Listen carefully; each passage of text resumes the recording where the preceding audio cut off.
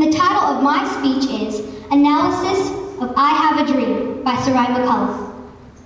Dr. Martin Luther King Jr. gave the I Have a Dream speech after his home had been bombed, after being stabbed, and after being imprisoned.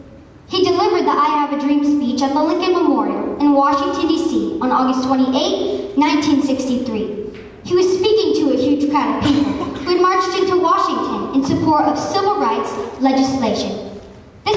Some of what he said. I have a dream that one day this nation will rise up and live out of the true meaning of its creed. We hold these truths to be self-evident that all men are created equal.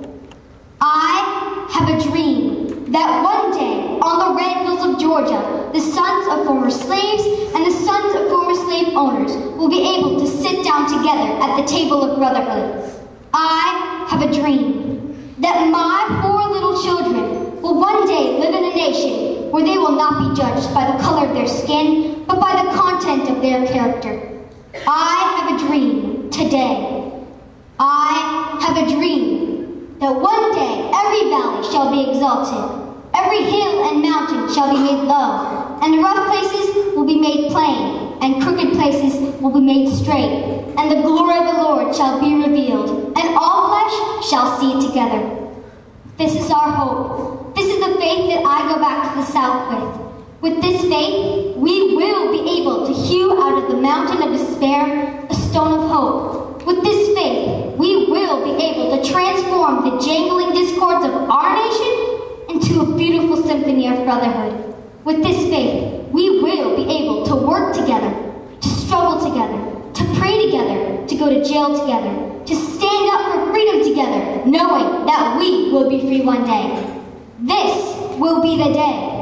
This will be the day when all of God's children will be able to sing with new meaning. My country, tis of thee.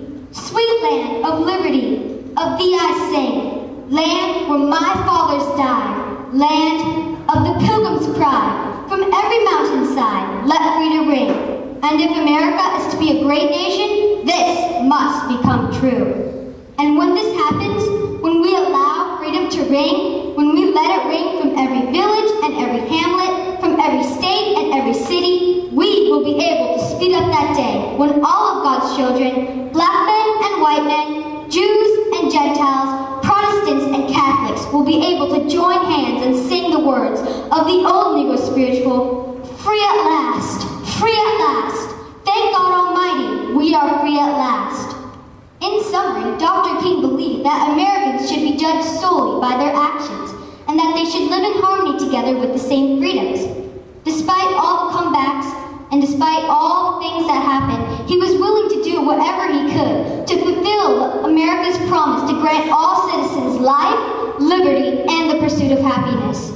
He made influences in the signing of the 1964 and 57 Civil Rights Act. This profound leader not only impacted me, but also inspired me. He taught me that one man's voice is mightier than any weapon. Thank you.